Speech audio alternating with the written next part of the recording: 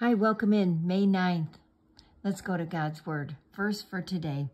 Therefore, put on the full armor of God, so that when the day of evil comes, you may be able to stand your ground, and after you have done everything, to stand. Ephesians 6, verse 13.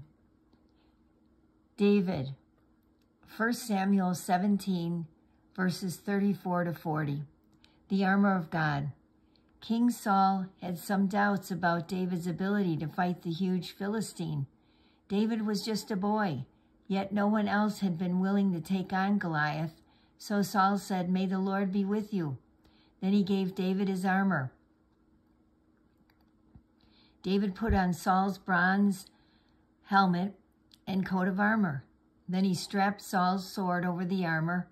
As David walked around, he realized that the armor was too heavy for him.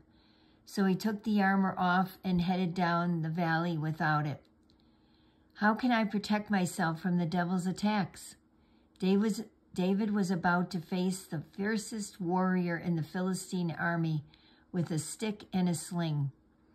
David didn't need Saul's armor because he was already wearing God's armor. King Saul may have shaken his head in unbelief, but the battle had already been won in David's mind. You can also be on the winning side by putting on God's armor, Ephesians 6, verses 14 to 17. Tie the belt of truth tightly around your waist so that you do not get tripped up with wrong ideas about God.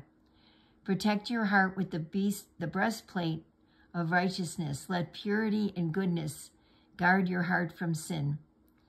Wear the gospel of peace shoes so that you can spread the good news of God's love everywhere. Carry the shield of faith so you can stop the burning arrows of doubt. Put on the helmet of salvation, which you get when you ask Jesus to become the Lord of your life. Use the sword of the Spirit, which is God's word.